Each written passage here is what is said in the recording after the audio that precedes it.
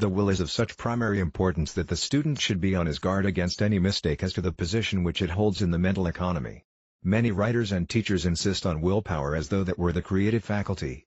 No doubt intense willpower can evolve certain external results, but like all other methods of compulsion it lacks the permanency of natural growth.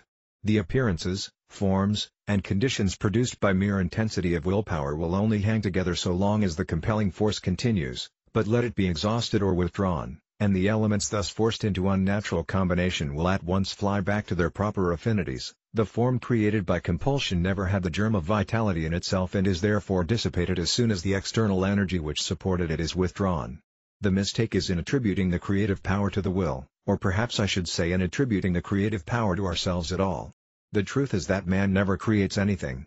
His function is, not to create, but to combine and distribute that which is already in being, and what we call our creations are new combinations of already existing material, whether mental or corporeal. This is amply demonstrated in the physical sciences.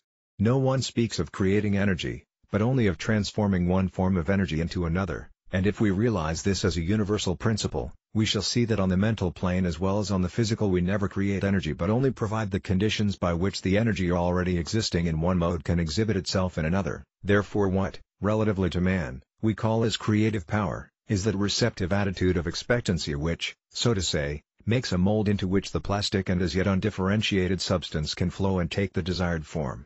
The will has much the same place in our metal machinery that the tool holder has in a power lathe, it is not the power, but it keeps the metal faculties in that position relatively to the power which enables it to do the desired work. If, using the word in its widest sense, we may say that the imagination is the creative function, we may call the will the centralizing principle. Its function is to keep the imagination centered in the right direction,